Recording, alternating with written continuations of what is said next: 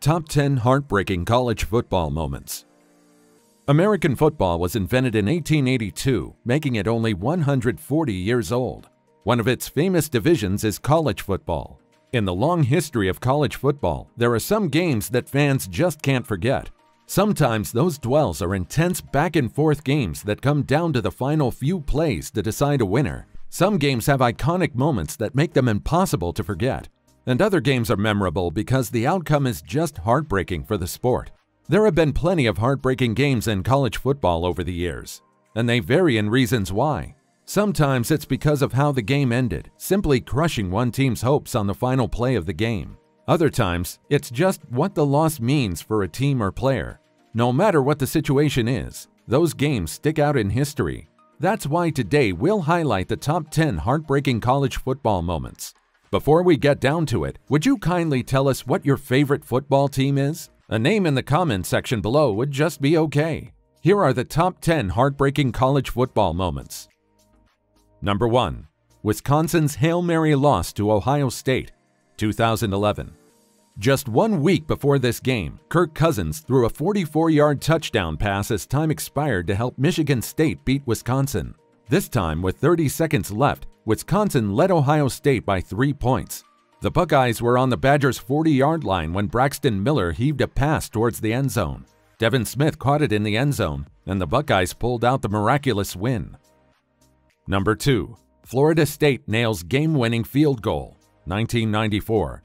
Nebraska was moments away from winning a national championship, holding Florida State scoreless in the fourth quarter of the Orange Bowl and leading 16 15 late in the game. But Charlie Ward took the Seminoles down the field, and then they kicked a field goal with 21 seconds remaining to win the national championship.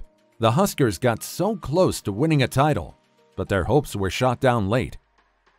Number 3. The Prayer at Jordan Hare, 2013. The prayer at Jordan Hare was a game-winning Hail Mary pass thrown during a college football game between the Auburn Tigers and Georgia Bulldogs, played on November 16, 2013 at Jordan Hare Stadium in Auburn in the 117th installment of the Deep South's oldest rivalry. Down 38-37 against the number 25 ranked Bulldogs with 36 seconds remaining in the game, the number 7 ranked Tigers faced fourth down and 18 yards to go when junior quarterback Nick Marshall threw a 73-yard touchdown pass to sophomore wide receiver Ricardo Louis. The pass was accidentally tipped by Georgia's sophomore safety Josh Harvey Clemons and freshman Tray Matthews as each tried to catch the ball. This accidental deflection surprised Louis, but it allowed Louis to catch the ball and to run away from both Harvey Clemons and Matthews into the end zone for the game-winning touchdown. The score allowed Auburn to take a 43-38 lead that the team would ultimately preserve to break the tie in the all-time Georgia-Auburn American Football Series. His teammates sprinted to congratulate Ricardo Louis in the end zone. Auburn IMG Sports Network commentator Rob Bramblett exclaimed, A miracle in Jordan Hare, a miracle in Jordan Hare, in utter jubilation. His voice carried across the nation on radio stations broadcasting the game. Within four days, t shirts were being sold with Bramblett's words, Miracle at Jordan Hare, printed across the top. Other sources modified the phrase. The War Eagle reader dubbed the moment the Miracle in Jordan Hare. The Gadsden Times proclaiming the play Marshall's Miracle, and USA Today pitching several titles, including Marshall Miracle. Number 4. Michigan punts blunder against Michigan State 2015. Rivalry games are always crucial to win, so with just 10 seconds left in the game and up by two, Michigan fans felt fairly confident that they would be victorious over Michigan State. The Wolverines weren't merely winning, they were dominating, having been transformed almost overnight into legitimate contenders for the Big Ten championship. A matchup with 7th ranked Michigan State was going to be the final validation, proof that the Wolverines really were back among the conference's elite. And with 10 seconds remaining, all 12th ranked Michigan needed to do was punt the ball and watch the seconds tick away. That final play will go down in Michigan Stadium history, right alongside Michael Westbrook's catch and Appalachian State's blocked field goal. With 10 seconds left and the Spartans rushing almost every player, Michigan punter Blake O'Neill mishandled a snap near his own 40. The loose ball ended up in the hands of Michigan State's Jalen Watts Jackson, who took off towards the end zone and eventually fell over the goal line amid a mob of players to give the Spartans a 27 23 win, one of the most unforgettable victories by a visiting team at the Big House. Number 5. Michigan vs. Penn State, 2005. Whether you're a PSU fan or a Big Blue fan, this certainly depends on which program you ally yourself with. For Penn State fans, this certainly falls into the heartbreaking category. Penn State was leading 25-21 in the fourth quarter when Chad Henne delivered a throw to Carl Tabb, who got out of bounds with seemingly 28 seconds left. But for some reason, the refs huddled up and put two extra seconds on the clock. Joe Paterno was irate. He only got more upset when Henne hit Mario Manningham for the game-winning touchdown, thanks to the two extra seconds the Wolverines got. Number 6. Lane Kiffin leaving Tennessee after just one season, 2010. This moment just downright angered Vol fans, but really their anger stems from heartbreak. Kiffin came from Knoxville with high praise as the Vols were over the Phil Fulmer era. Kiffin had Tennessee in the national spotlight for the right and wrong reasons. They were recruiting well, and the future looked bright. Then Kiffin called a shocking press conference to announce he was leaving for USC. Heartbreak in Knoxville. Ouch.